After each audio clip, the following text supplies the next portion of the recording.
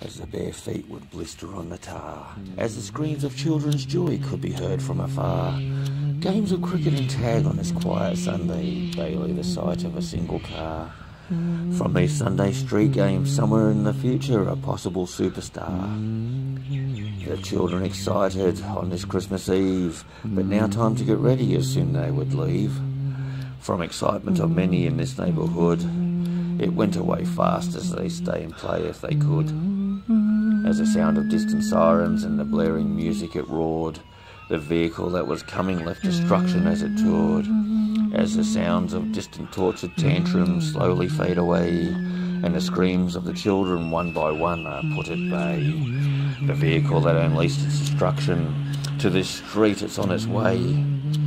The sound of its motor drowned out by the blaring music that it played. As the father takes the children to the curb where they must stay, oblivious of the destruction that was to come on this scorching summer's day.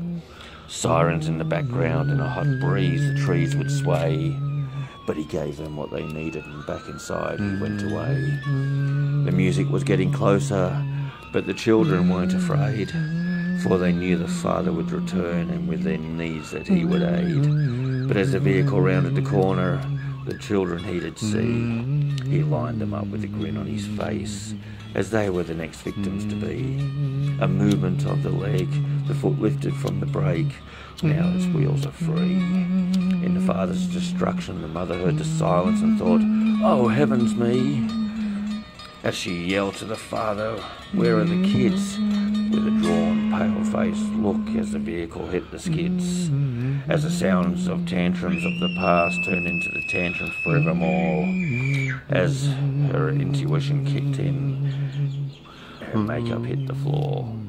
In their Sunday best, I dressed them as she raced towards the door. She let out a blood curdling scream. It was too late, she couldn't take any more. As he heard the scream, his life would never be the same as she told him no before. As she raced towards the kids, as, as the fatted hit the ground. On the way, searching her pockets for something to help, but nothing could be found.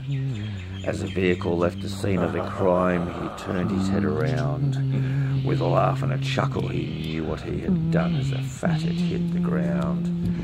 Could this be the time the bagpipes play Amazing Grace?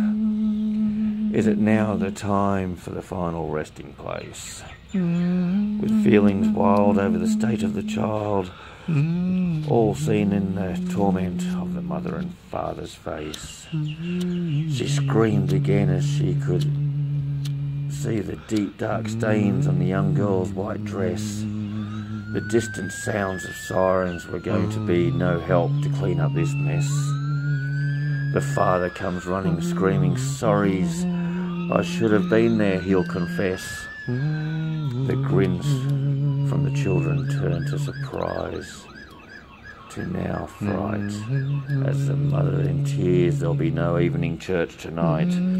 The father's concern at what he had done for months and years they will fight. As the tears are rolling down upon her best Sunday gown, she looks at him with a deadly frown.